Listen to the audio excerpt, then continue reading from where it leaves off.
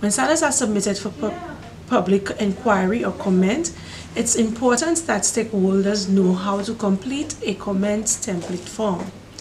This form is where you record the comment you may have on the standard and it helps us to ensure that every single comment is regarded by the technical committee and they make a decision as to whether the comment should be accepted, accepted in part, or rejected as the case may be.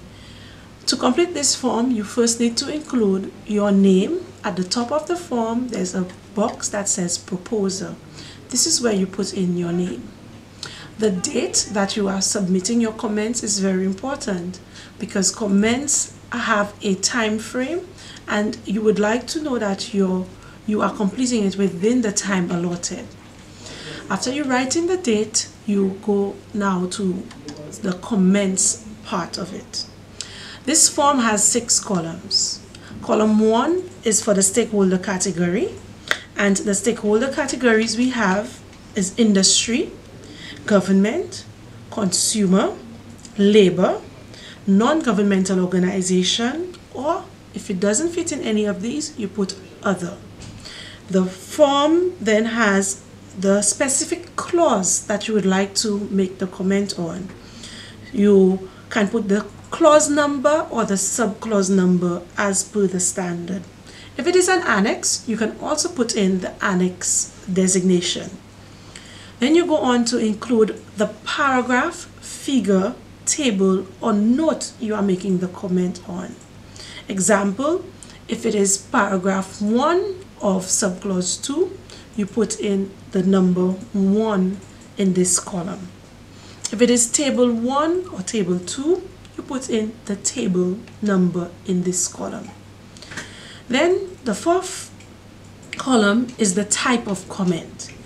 For this, we have three types of comments that we recognize. General comments, these comments normally address larger areas of the document being reviewed. Technical comments are comments that affect the technical requirements or the accuracy of the document. And editorial comments refer to typographical errors, misspellings, improper sentence structure, and similar problems, grammar, um, just to mention a few. So you would denote the type of comments that you're making in, in here.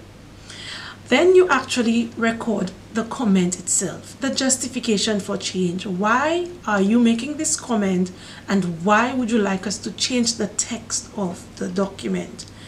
If you have proposed new text or a suggestion for improvement, you record this in column 6, which is where the technical committee would take the exact wording when it is a new text you're being proposed and insert it in the standard. So it's very important that you are clear and not ambiguous in recording your proposed text for change. This is how you complete a comments template in a nutshell and we will show you an example of a completed row where the stakeholder category is recorded, the clause number that the comment is referring to is recorded, the paragraph, figure, table or note the type of comment is recorded, the justification or the actual comment that you would like to make on the specific paragraph or clause in the standard, and the proposed text of change.